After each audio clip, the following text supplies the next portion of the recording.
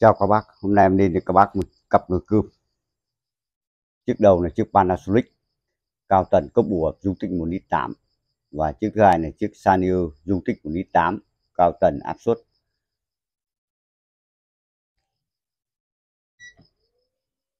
Nấu 43 phút, nấu bình thường 43 phút.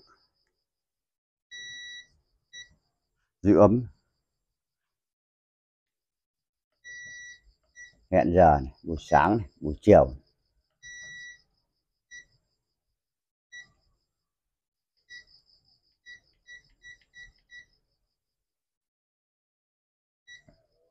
chế độ nấu cơm ngon nhất là 56 phút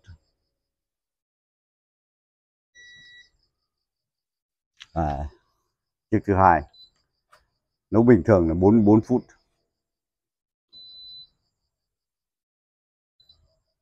hẹn giờ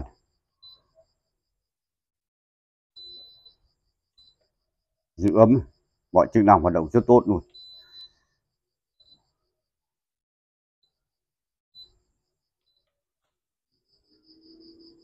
Chế độ nấu giải là 67 phút. Mọi chức năng hoạt động rất tốt luôn.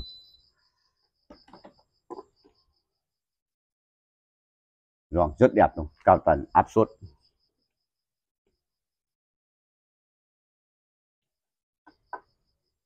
Áp bi làm rất đẹp. Nòng son duy nhất có một vết chấm thôi.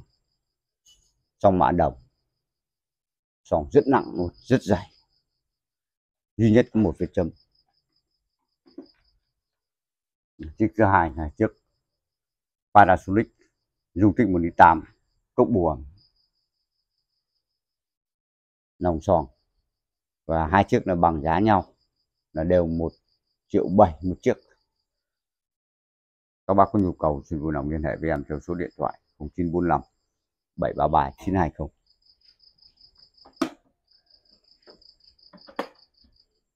một triệu bảy một chiếc.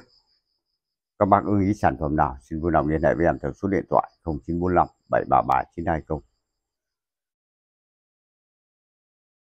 mọi chức năng hoạt động rất tốt luôn em ờ, xin dừng video tại đây. Cảm ơn các bác đã quan tâm theo dõi.